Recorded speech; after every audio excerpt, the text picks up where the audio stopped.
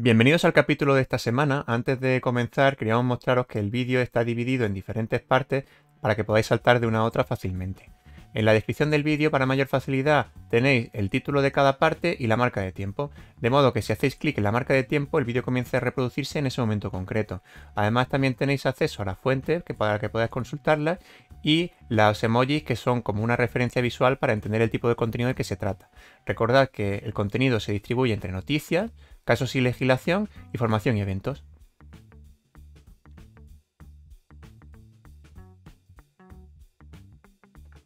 Netflix se ha librado de un procedimiento de infracción por copyright. El pasado 26 de mayo nos hacíamos eco de la noticia de que la demanda interpuesta por un profesor de instituto frente a la plataforma de vídeo ha sido desestimada por el Tribunal del Distrito de Georgia. La demanda, a la cual hemos podido tener acceso y que fue interpuesta el pasado 21 de diciembre, pone en el foco la serie original de Netflix Outer Banks por estar supuestamente infringiendo la novela del profesor Pennywise, The Hunt for Blackbird's Treasure. Este libro, que fue publicado en el año 2016, recoge y narra las aventuras de Benjamin y Nathaniel Pennywise, que a través de una serie de pistas recorren el mundo en busca de un famoso tesoro pirata. Este libro se comercializa tanto en Amazon Estados Unidos, en Amazon Gran Bretaña, eh, y se hace una promoción bastante extensa en redes sociales como Facebook o en páginas especializadas como EA Science Fiction and Fantasy Readers. Por otro lado, la serie de Netflix fue lanzada el 15 de abril del año 2020, cuatro años después de la publicación del libro. Conforme al profesor Kevin Wooten, que es el demandante en este caso, tanto el show como el libro comparten grandes similitudes. Por ejemplo, ambos transcurren en los Outer Banks de Carolina del, Norte. Tienen el mismo número de protagonistas con unos contextos muy similares. Y los antagonistas son en ambos casos un benefactor rico y un miembro corrupto de la ley. Al igual que en el libro, según narra Kevin Wooten, los protagonistas siguen una serie de pistas hacia un tesoro que, una vez descubierto, es robado por los propios antagonistas. Según el profesor Wooten, Netflix pudo conocer el libro en un acto promocional en la ciudad de Wilmington, Carolina del Norte, ya que como bien acompaña a la demanda, eh, en una entrevista a, los directores de, la, serie, mm, estos indicaron que se habían inspirado para crear la, propia obra en, esta ciudad de, Carolina del Norte, en Wilmington, por lo que existen sospechas bastante fundadas de que pudo ser a través de estos actos de promoción en, la mencionada ciudad. Sin embargo, el pasado 25 de mayo, el Tribunal de, Georgia ha decidido finalmente desestimar la acción interpuesta por el profesor. De forma más o menos resumida, la resolución del tribunal recoge que el hecho de que ambas, obras coincidan ser un grupo de buscadores de tesoros eh, como, como guion principal es simplemente algo azaroso. Eh, y que no es suficiente como para decretar que existe una, vulneración de derechos aquí. Pone un ejemplo el tribunal eh, entre una de las similitudes que esgrime el demandante es que existe en el libro una de las pistas del tesoro que se encuentra en, un ala, en el ala de, una, de un pájaro. Mientras que en la serie de Netflix una de las pistas se llama precisamente para, eh, para pájaro. No obstante, eh, según el juez, se trata de una coincidencia inocua y que no tiene ningún tipo de efecto sobre el análisis de la infracción. Por otro lado, en esta extensa resolución, que os dejo por aquí el número de la misma por si queréis echar un vistacito, eh, el tribunal también encuentra que muchas escenas que supuestamente son, están siendo copiadas son escenas típicas del género particular de aventuras, por lo que no estaría protegido por copyright. Aquí el tribunal eh, llama a este principio essence affaire, por su nombre en francés, y pone de ejemplo eh, los casos como por ejemplo las, obras que, discurren en el, salvaje oeste van a, van a ver siempre vaqueros, robos y tiroteos. O, problema, o en aquellas novelas policíacas oscuras siempre va a haber un protagonista policía con, con ciertos problemas eh, emocionales o estables y que son escenas típicas de, un género concreto que no se puede monopolizar. En definitiva, eh, según el tribunal, los personajes de ambas obras comparten muy pocas similitudes, eh, incluso desde un punto de vista eh, amplio, ya que el ritmo y el estado de ánimo de las dos historias varía muchísimo. Em, hay que destacar también que también la propia resolución establece que, que, existe prejudicialidad en este caso, por lo que Buten no podrá volver a interponer una demanda frente a Netflix con los mismos argumentos. A modo de conclusión propia, destaco que de la sentencia el repaso a las distintas escenas típicas de un género concreto, que, hace y cómo las mismas están desprovistas de copyright, el, asunto que acabo de comentar del Sins Affair. Y resulta muy curioso, eh, ya que sabiamente se está permitiendo explotar y, explorar un género concreto, al evitar así cualquier tipo de monopolio y promoviendo la, eh, explotación de, géneros nuevos, se está eh, permitiendo que, se está evitando poner puertas al campo, por así decirlo. Por lo que tenemos que agradecer que existan este tipo de límites para los amantes de cualquier género, porque al final siempre va a haber nuevos autores que, partiendo de una misma base o de unas mismas características, vayan a añadirle una nueva capa de, de emoción, de intriga y de originalidad, que será la que efectivamente quedará protegida por derechos de autor. El Centro para el Desarrollo Tecnológico Industrial ha organizado la nueva convocatoria del programa Neotec 2021. El programa Neotec es uno de los programas más importantes de España para la financiación de empresas de base tecnológica o EBTs eh, de nueva creación. Con él se pretenden financiar proyectos innovadores y el plazo de solicitudes cierra el 8 de julio de este año 2021. Cada uno de los proyectos podrá obtener en principio hasta 250.000 euros, aunque como luego veremos, en el caso de contratación de doctores puede llegar a superarse esta cifra de 250.000 euros de financiación. El resumen más rápido es el que tenemos en esta página, que está bastante bien organizada, y eh, vemos que los gastos que se pueden realizar son para equipo material, personal, colaboraciones externas, por ejemplo, asesores para la protección de la propiedad industrial o para el desarrollo de un plan de negocio o, por ejemplo, para, superar fases reguladoras cuando se trata de productos sanitarios y otros costes eh, hasta cierto límite. En esta otra página se desarrolla más el contenido del programa y nos destacan que se trata de una ayuda con la finalidad de ayudar a nuevos proyectos empresariales. Esto se manifiesta en el hecho de que los proyectos deben haber sido constituidos al menos seis meses antes de el, cierre de plazo de convocatoria y en todo caso con tres años de antigüedad. Es decir, desde el, hemos visto que la fecha de cierre perdón, de, cierre de la convocatoria era el 8 de julio, pues bien, empresas que se hayan constituido a partir del 8 de julio de 2018 podrían concurrir a esta convocatoria siempre y cuando al menos tengan 6 meses de antigüedad y otros requisitos que ahora veremos. Conviene destacar que el objetivo, en la medida en que lo que pretende es impulsar productos o servicios basados en tecnología generados a partir de actividad innovadora, no sirve para financiar el supuesto en que lo que se trata es de dar un servicio o una campaña de, servicios, de manera que las empresas, por más innovadoras que sean, que se gasten en el sector servicios eh, y no desarrollen tecnología, no podrán beneficiarse de este presupuesto para, para ayudas. El presupuesto total es de 34.400.000 perdón, 36.460.000 euros y por tanto el régimen de concurrencia competitiva en el que se concurre sin embargo dará lugar a ayudas para bastantes empresas por lo que si entráis dentro de los requisitos de este programa os recomendamos encarecidamente que os presentemos. En primer lugar, en cuanto a los beneficiarios ya hemos dicho que son empresas de base tecnológica y deben de tener los siguientes requisitos. Algunos muy obvios, como no estás cotizado en una bolsa de valores, la constitución, que ya hemos dicho que debe ser superior a 6 meses, pero no superior a 3 años desde la fecha de cierre de la convocatoria, no deben haber distribuido beneficios, puesto que el objetivo de este tipo de empresas debe ser el crecimiento rápido y una distribución de beneficios temprana suele ser contraria a este fin. Y por otro lado, eh, deben de tener un capital social mínimo con la prima de, de emisión, es decir, con el metálico aportado de 20.000 euros lo que supone que eh, en principio tampoco se requiere un capital especialmente elevado. Sin embargo, sí que se requiere que el presupuesto mínimo de la empresa sea de 175.000 euros para el plazo subvencionado que puede ser de uno o de dos años.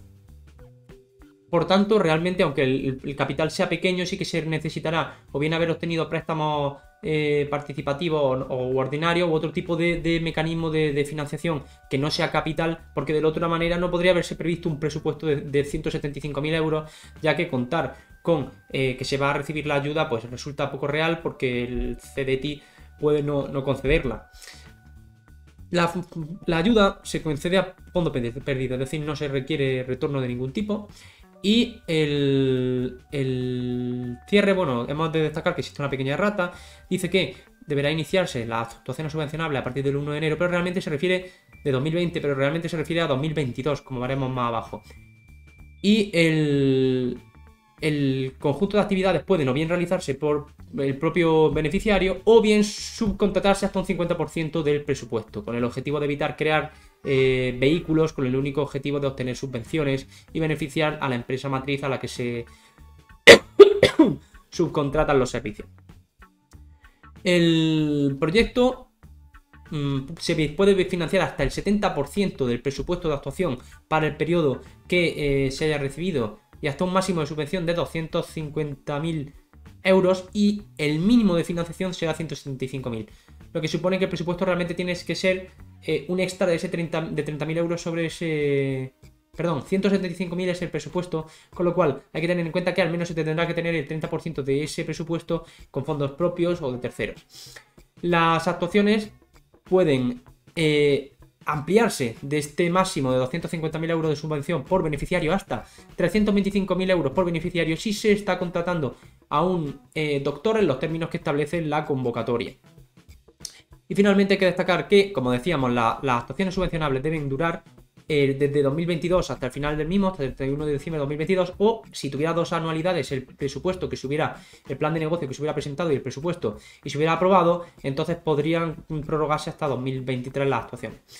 Es importante a efectos de obtener la, ayuda que la tecnología no sea una cosa accesoria, sino que sea la estrategia clave del negocio de esta nueva empresa. Porque al efectos de la valoración veremos que resulta necesario cumplir una serie de requisitos. Pero antes destaquemos que desde el momento que se tiene la ayuda se puede solicitar un anticipo de hasta el 60% de la subvención concedida, lo cual es una gran noticia porque este tipo de empresas en fase muy temprana generalmente tienen ciertas dificultades para conseguir la primera financiación. Y a partir de que se consigue la primera financiación, en cuanto que se empiezan a realizar pruebas de concepto de, mínimo, de producto mínimo viable, se puede obtener mucho más fácilmente la financiación de, segundo, mm, de segunda ronda de financiación, de nuevos inversores, etcétera, porque ya existe una prueba de concepto que se puede mostrar realmente. Ya no se trata de una sola tecnología eh, en una fase más teórica, sino que ya generalmente existe un producto, un software, etcétera, que se puede mostrar, aunque no esté, eh, no tenga una, no esté en su, en su evolución final. Finalmente, en cuanto a la evolución del proyecto, hay que destacar que como se trata de un régimen de concurrencia competitiva, hay que evaluar las, las, solicitudes para establecer por orden de valoración a cuál será primero la financiación hasta que se acaban las cuantías del presupuesto que hemos visto anteriormente. En primer lugar, se tiene en cuenta el plan de explotación comercial del proyecto, es decir,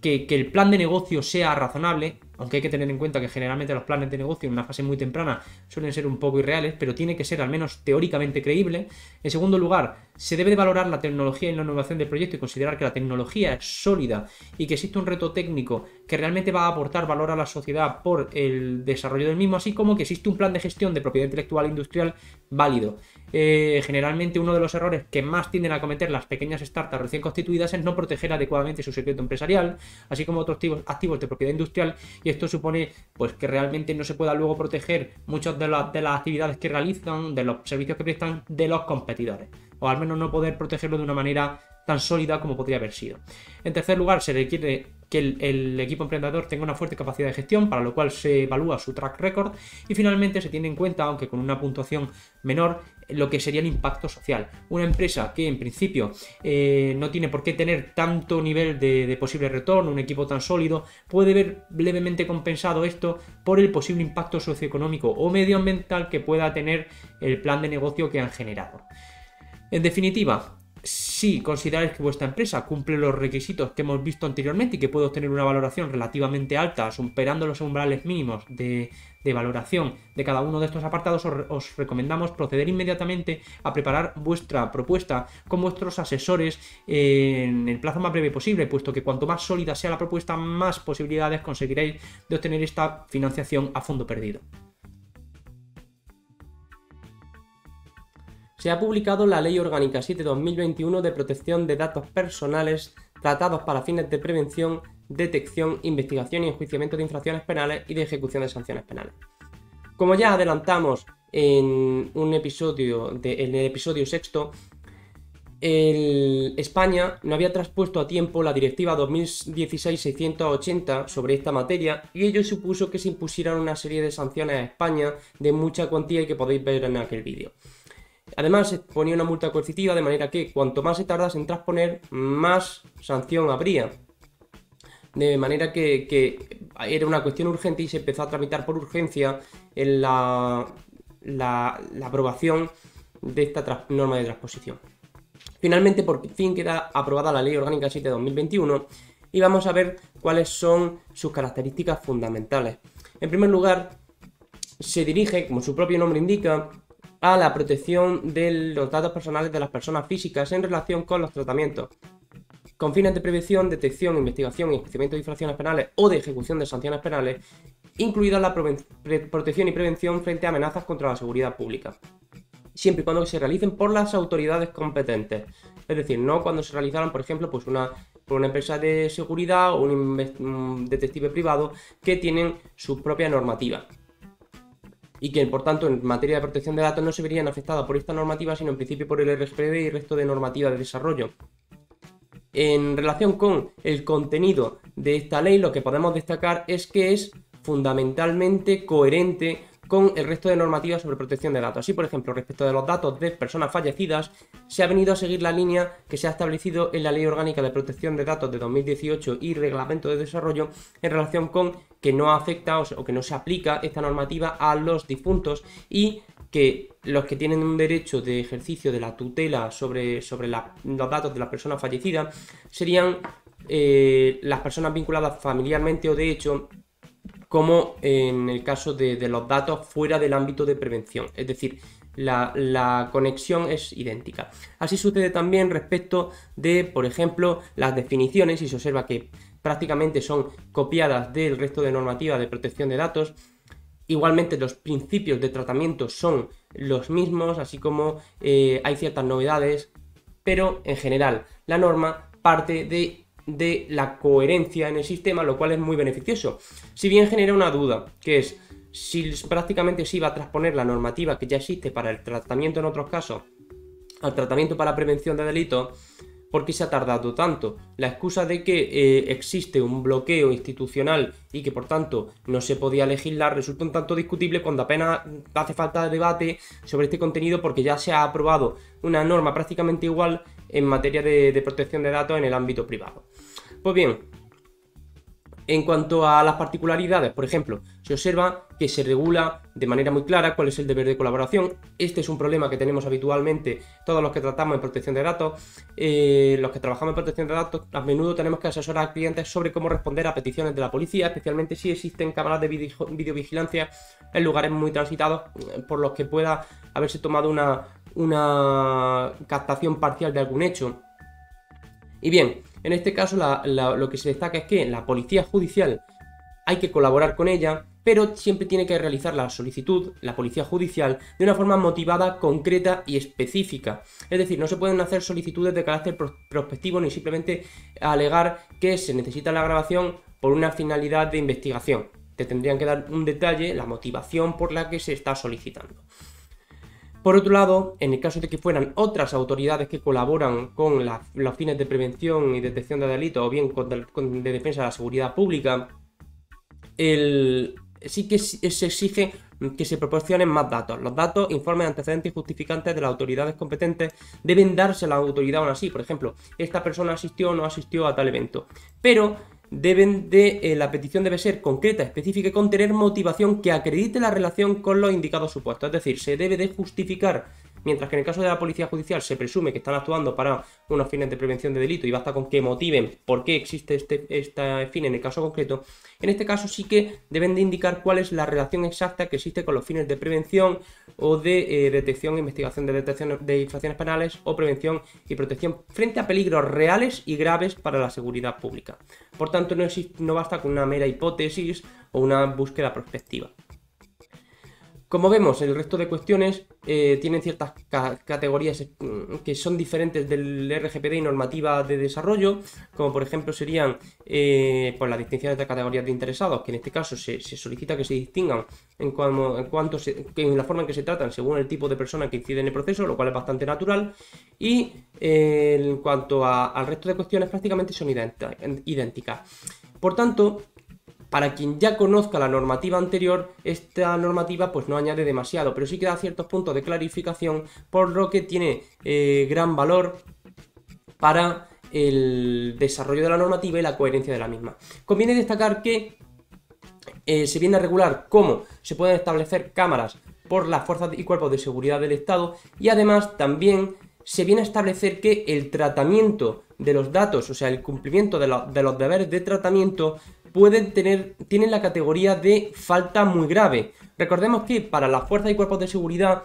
la falta muy grave puede suponer incluso la expulsión del cuerpo, lo que supone que, por ejemplo, el hacer una, hacer una consulta por mera curiosidad a unas cámaras fijas para ver qué hace mi vecino puede conllevarme la expulsión del cuerpo y si, si, no se tratara de algo de un hecho todavía más grande, cuyo caso podría incluso ser delictivo, imaginemos por ejemplo un caso de acoso,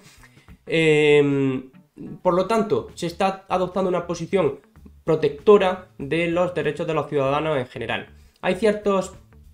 cuestiones de detalle que, eh, bueno, que veremos cómo evolucionan en su aplicación, pero en principio la, la, norma no tiene una mayor dificultad para el que ya conoce la normativa anterior, puesto que prácticamente se extrapola. Esta extrapolación, por ejemplo, se observa en relación con el hecho de que se han regulado los derechos de la persona de una manera coherente con la que ya existía. Se, eh, existe el deber de información de una manera transparente, prácticamente idéntico al que existe en el RGPD y, Ley Orgánica de Protección de Datos y Garantía de Derechos Digitales. También existen los derechos de acceso, de oposición, de limitación y de supresión, si bien lógicamente con restricciones derivadas de la naturaleza especial de este tipo de tratamiento. La regulación también se continúa siendo coherente al establecer los mismos derechos y obligaciones para el responsable y encargado que prácticamente existen en la normativa eh, privada,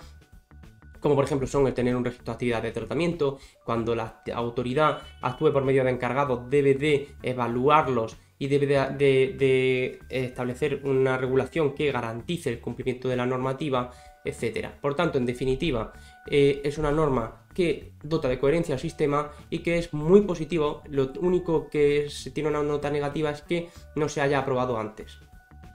Una de las noticias más comentadas esta semana en LinkedIn y que mayor revuelo ha levantado entre los profesionales de la propiedad intelectual ha sido la decisión de la WIPO de cancelar la marca 17-981-629 que podemos ver en pantalla del mono y que pertenecía a Pest Control Office, los guardianes legales de las obras de Bansky y a su vez amparaban distintos productos y servicios, todo ello relacionados con el merchandising alrededor de la famosa obra de, del anónimo grafitero británico. Todo comenzó en el año 2018 cuando la compañía británica Full Color Black Limit interpuso esta acción de nulidad frente a la marca que os acabo de enseñar. Esta compañía británica comercializa tarjetas de felicitación que incluyen obras de arte callejero en este caso concreto se eh, incluyen también las obras de la imagen de Love Now, que es la obra del, mono que os acabo de enseñar. Esta empresa de tarjetas interpuso una acción de nulidad basada en la supuesta solicitud de mala fe por parte de Pest Control Office y la falta de carácter distintivo del signo. Aquí es donde el, boomerang de Bansky eh, le ha vuelto para mal. Eh, porque como bien recoge la, resolución en, la explicación de, los, hechos previos, en el año 2007 Bansky publicó un libro que se llama Wall and Peace, eh, en el que indicaba de forma bastante mm, exacerbada que los derechos de autor son para perdedores. Por otro lado, Bansky siempre ha permitido que cualquier persona difunda su trabajo. Si acudís a la página web de, Bansky, existen versiones de sus obras en formato digital con una resolución muy alta para que cualquier tercero pueda descargarlo y producir sus propios elementos. Em,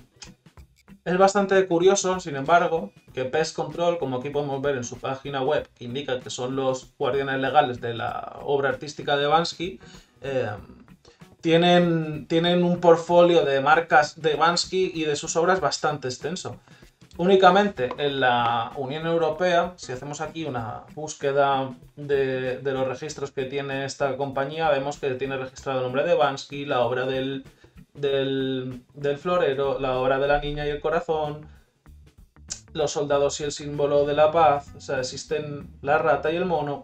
existen bastantes marcas de, de las obras de, de, Bansky registradas, a pesar de que el propio Bansky haya indicado en numerosas ocasiones que no, no está a favor de los derechos de autor. Eh, eh, la WIPO ha tenido en cuenta todas estas circunstancias a la hora de, de decretar la, la, nulidad de la marca, ya que a su vez también ha indicado que Bansky, al ser una persona anónima, se está rompiendo con todos los principios de, de, del derecho de autor, porque al no ser identificado no le, no le permite ampararse en estas normas, porque si bien eh, existe la posibilidad de, emplear un, un seudónimo, eh, la persona que quiere tener sus royalties y, y, amparar sus obras, al final tiene que, por en cierta manera, eh, hacer valer las mismas. En este, el caso de Bansky, es la, la identidad de, del mismo es eh, desconocida por el mundo entero y, y, en ningún momento ha acudido a una oficina de, de, marcas o ha enviado un requerimiento diciendo, oye, yo soy Bansky y te estoy exigiendo mis, mis royalties. También es, eh, ha destacado la WIPO bastante acertadamente en, en, la resolución que podéis ver aquí, que está disponible en la propia eh, base de datos de la WIPO, con la, el nombre de, es el número 39.873-C. Eh, por otro lado, también recoge la WIPO que la gran mayoría de las obras de Bansky se sitúan en la, en la vía pública, están en la calle, ¿no? como, como buenos grafitis que son. Y conforme al derecho europeo, y en concreto, por ejemplo, en la Ley Española de Propiedad Intelectual, lo encontramos en el artículo 35.2, las obras que están permanentemente situadas en espacios públicos, como son calles, parques, jardines, podrán ser reproducidas mediante pinturas, dibujos o fotografías de terceros sin requerir ningún tipo de autorización o pagar ningún tipo de royalty. Eh, eh, así las cosas, eh, por otro lado también no ha podido determinarse que exista una relación entre Bansky y Pest Control. Por, de nuevo por el hecho de que Bansky no sea, en ningún momento se ha identificado como persona ni se conoce la persona que existe detrás, a pesar del seudónimo, como vuelvo a decir. Eh, por lo tanto, como no existe una relación concreta eh,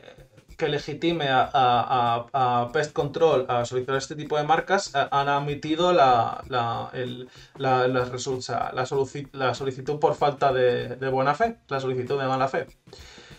Eh, ya a modo de conclusión,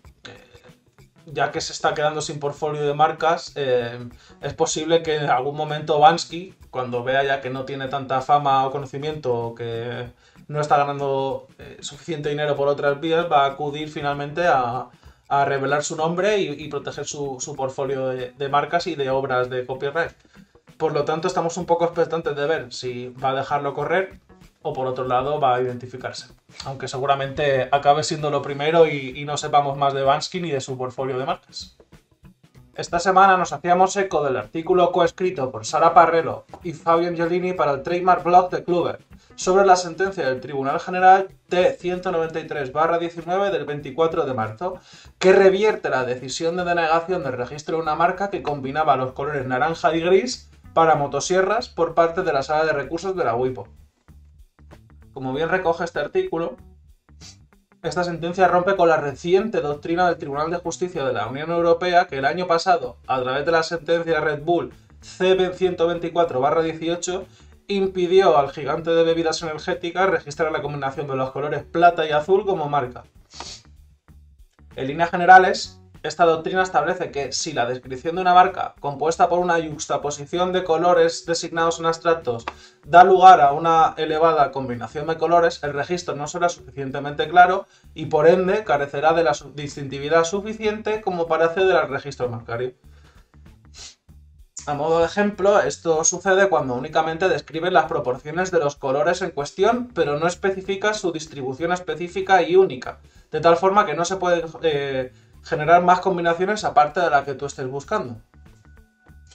No obstante, en esta ocasión, el Tribunal General ha indicado que la descripción de una marca junto con la representación gráfica de la misma, permite en ciertas ocasiones determinar con suficiente la, uniformidad necesaria para proteger la combinación de los colores como marca, ya que no existe contradicción con la representación de la marca y la forma en la que se colocan los colores sobre la motosierra. De forma acertada y conforme con la doctrina del TJUE, eh, emanada de sentencias como Sabel, Nestlé o Shaker, el consumidor rara vez tiene la oportunidad de comparar dos marcas a la vez y normalmente confía en un recuerdo imperfecto que tiene de la misma, por lo que se deduce que independientemente de la forma precisa que tenga la carcasa de la motosierra, la información proporcionada en la descripción que acompaña la representación gráfica permitirá al consumidor individualizar la marca y conocer su origen empresarial. Resulta bastante sorprendente, ya que los consumidores de motosierra difícilmente tendrán acceso a la descripción que acompaña la representación gráfica de la marca, y aquí los coautores son bastante críticos con la decisión del Tribunal General por lo que parece que la eh, forma de la carcasa no afecta, o sea, da a entender el tribunal, según los coautores, que todas las motosierras del mercado tienen la misma carcasa. Sin embargo, como también aquí si bien se recoge, la sala de recursos sí que analizó en su momento eh, el mercado de motosierras, hizo una búsqueda exhaustiva en internet y descubrió que existían docenas de diseños diferentes de carcasas de motosierra. No obstante, para, la, para, el Tribunal General, la descripción de la marca en cuestión deja claro que la combinación de colores objeto de la protección eh, no adopta cualquier forma de carcasa de la motosierra, sino más bien la forma de una carcasa dividida en dos partes, una superior y otra inferior. Y dado que así está descrito, existe un límite mayor a las formas que pueda adoptar la carcasa de la motosierra, por lo que parece que, como se describe que esta carcasa tiene una parte frontal y otra parte inferior, ya solamente se está individualizando una sola combinación de colores. Em, es, una decisión bastante polémica y lo cierto es que esta, la concesión de este tipo de marcas no ha estado nunca exenta de polémica, ya que carece de una doctrina clara y consolidada que parecía que, la sentencia de Red Bull que acabo de citar había establecido. Sucede que primero, antes de Red Bull, se nos indicó que solamente las marcas que habían adquirido una distintividad suficiente por su uso en el mercado podían hacer el registro. Estamos pensando aquí en el color morado de Milka.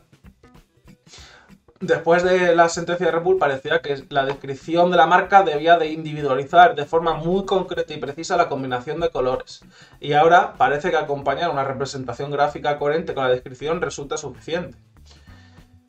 es el momento ahora de que cada profesional del sector de la propiedad intelectual va a tener que apostar a un caballo distinto, sabiendo que ninguno de ellos va a ser un caballo ganador. Por lo tanto, va a tocar estar atentos cómo se van concediendo este tipo de marcas ante la WIPO para ver qué aconsejar a los clientes, porque si en cierta manera parece que, que la descripción tiene que ser muy exhaustiva, pero luego si la descripción es coherente con la representación gráfica va a ser suficiente, no sabemos bien qué, pensar, básicamente. Entonces, cada uno va a tener que, como he dicho, apostar a un caballo distinto a, la espera de ver si, si es finalmente el ganador.